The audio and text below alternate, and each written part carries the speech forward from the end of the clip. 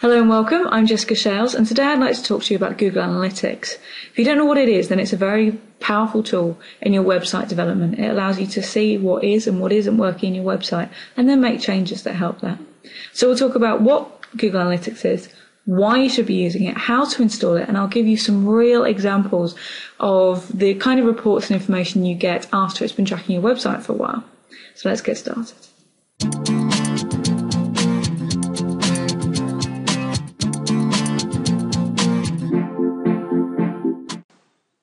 So Google Analytics, what exactly is it?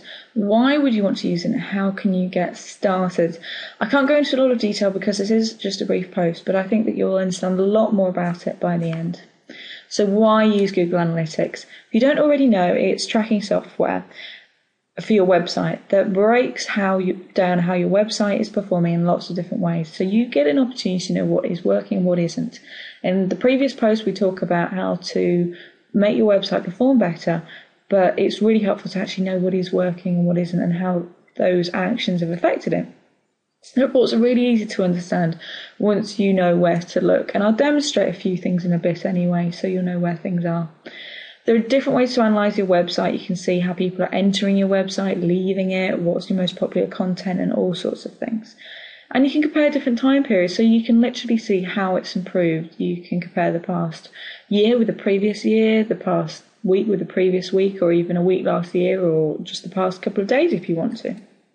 You can also configure email reports to be delivered directly to you, which is really helpful so that you don't have to keep on going into Google Analytics in order to, to track it. It makes it much more automated and you're more likely to use it. And best of all, it's free. So why not? So how? How do you get started?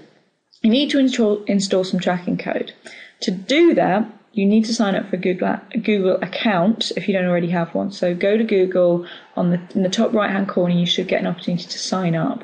Once you have a Google account, then you need to create an analytics account. So go to analytics.google.com and you can create an account and then add your website to that account.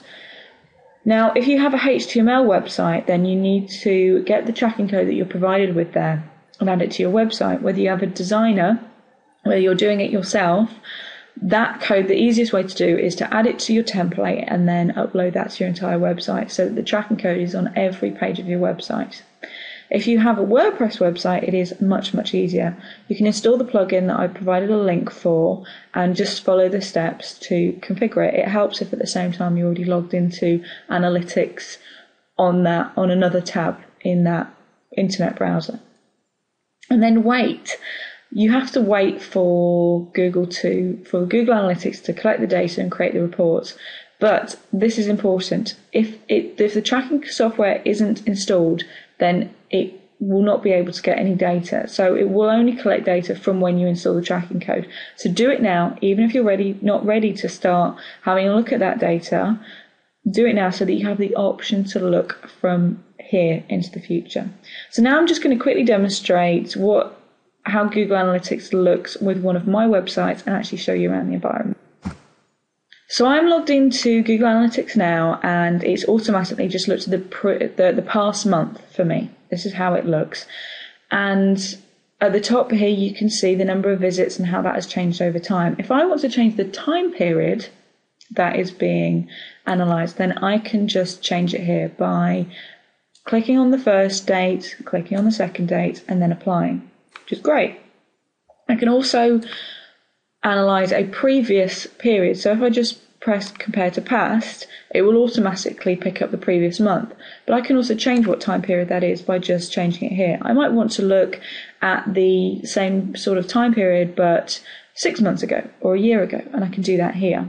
And it means that there is another line added, another set of data underneath. So how is it doing based on how it was doing uh, in that previous time period? And you can have a look at why that might have been. So I'm just going to go back to normal. Let's go back to how it was. Oh, and I don't want to compare to the past. It does add a lot more data, which can kind of be annoying sometimes. It's up to you. So you can see, I'm not going to go through all of this, but you can see some basic bits of information that's very important. You can see how many visits and how many new visits and average time on website and all sorts of things. Some of these things are automatically added and some of the things you will have to add yourself. I'm quickly going to demonstrate how to add a widget, this is a widget, to this area. If, for example, you want to find out where your traffic is coming from, your website traffic is coming from, then go to traffic sources. And there are loads of different examples here, but I'm happy with the overview one. This is an example of the kind of information that it provides. Now, if I like this and I want this to be always added to my dashboard, which is the first page you saw, then all I have to do is press here, add to dashboard, and it will be there. And you can go back to your dashboard and it will be there in the future. So you can have a look through these different things, have a look at what information you'd like to see on this main dashboard and, and, and add and take away and all sorts of things. If you want to delete anything, you can just press the cross here. So the most important ones that I've added that I think that are quite important is your content overview, which tells you the most popular areas of your website, your traffic sources overview, which tells you where people are coming from, your top landing pages, which literally tells you which page people are landing on. It may not always be your home page. It could be another page, uh, like a, a, very, very popular post that people are looking for, and that's how they're finding you. So it'd be great to know that, wouldn't it? Your top exit pages, where people are actually leaving. And this is down to interpretation of your individual website goals, whether how people are leaving is good or bad. You need to decide that whether you want people leaving there. You could find that you've got a website leak, perhaps, and people are leaving your website before they've completed the goal that you want, and maybe you need to change that page. Um, there's also referring sites, which actually tells you a referring website is where there's a, a, a link to your website and people are following that link to get to you. As you can see, Facebook is a big one for us. And th- these will change over time as well. Also, your keyword is very important. And I'll quickly tell you why. If your keyword is for something that you want to show up for in Google and it's showing well in here, then that's great. It means that your search engine optimization has worked quite well. If, however, it's your company name, it means that your other marketing is doing well and perhaps your search engine optimization is not working quite as well. And if you do want to know more about search engine optimization, then I'm sure that it will be in future posts and you can watch out for that. So I hope that you understand a bit more about Google Analytics and I hope you go right ahead and install it. First things first, let's download and go through the checklist that I provided or use the links that are in the post at Fluid Web Works. This checklist is something that is in one of my courses. I go the WebWorks. I go through Google Analytics in a lot more detail, but I've provided the checklist as a little bonus to you because I do think it makes life a lot easier. Once you actually follow the points in the checklist and installed your Google Analytics uh, tracking code and you're sure that it's working, then wait for a little while. It could just be a couple of days just to make sure that you can have a bit of a play about. Then log into Google Analytics and go through the results. See what you can figure out from it, whether it's exceeding expectations, whether you're surprised or disappointed, and, and just have a think about how you can change your website based on that. Then change anything that needs changing.